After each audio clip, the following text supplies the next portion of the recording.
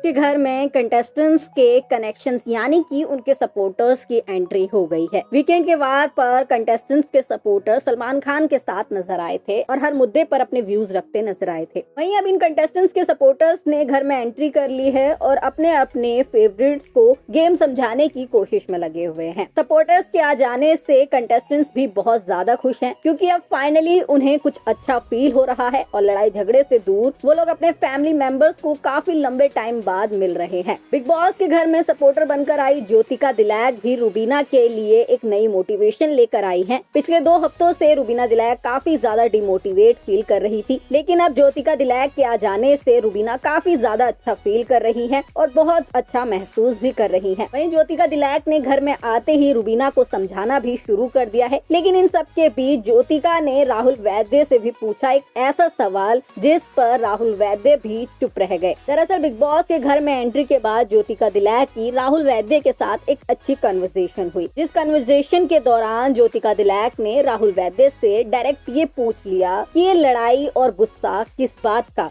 आपकी लड़ाई रूबीना से किस बात पर शुरू हुई थी? अब ज्योतिका दिलैक के इन सवालों का जवाब राहुल वैद्य के पास नहीं था। क्योंकि राहुल और रूबीना भी नहीं जानते कि इन दोनों ने एक दूसरे से नफरत करना कब स्टार्ट किया। कौन सी वो लड़ाई थी जिसके बाद दोनों के बीच में डिफरेंसेस स्टार्ट हुए? और वहाँ पर राहुल वैद्य कुछ कह नहीं पाए और उन्होंने कहा कि ये तो हम भी नहीं जानते कि हम दोनों एक दूसरे को नापसंद कब से करने लगे और कब से हमारी ये लड़ाइयाँ शुरू हुई और उसकी असल वजह क्या थी। आपको बता दें कि ज्योतिका दिलैक ने राहुल वैद्य से ये सवाल इसलिए पूछा क्योंकि वो ये जानना चाहती थी कि रूबीना के साथ राहुल की लड़ाई शो के लिए है या फिर असल में कुछ ऐसी वजह है जिसकी वजह से राहुल रूबीना को पसंद नहीं करते हैं। लेकिन आप सभी जानते हैं कि ना तो अभी तक ऑडियंस और ना ही इन दोनों को खुद पता चल पाया है कि इन दोनों के लड़ाई की असल वजह क्या है और कहाँ से इनकी ये लड़ाई शुरू हुई। तो ये थी बिग बॉस 14 से जुड़ी हमारी एक खास रिपोर्ट आपको हमारा वीडियो कैसा लगा कमेंट करके ज़रूर बताएँ। लेटेस्ट अपडेट्स के लिए आप हमें ट्विटर फेसबुक इंस्टाग्राम पर भी फॉलो कर सकते हैं।